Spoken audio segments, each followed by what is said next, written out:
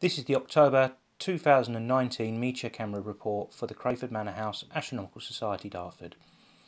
In October 2019 we detected a total of 138 meteors associated with 29 different showers.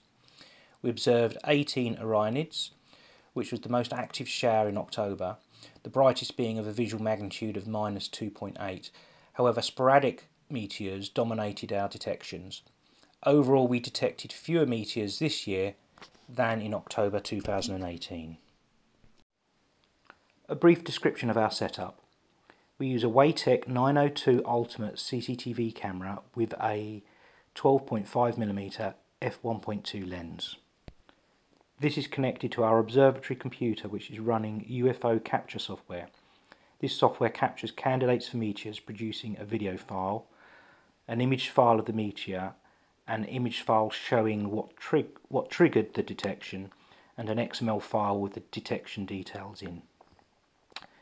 In the morning the following day a DOS script is run using Windows Scheduler.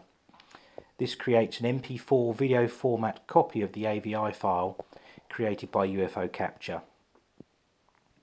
These files are then copied to a NAS drive, again using Windows Scheduler.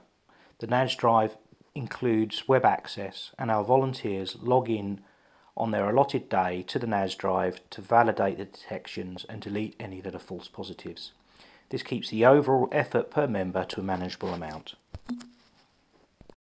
At the end of the month, one of our members analyses all of the confirmed meteors using UFO Analyzer, and the report is sent to the NEMETODE Meteor Network.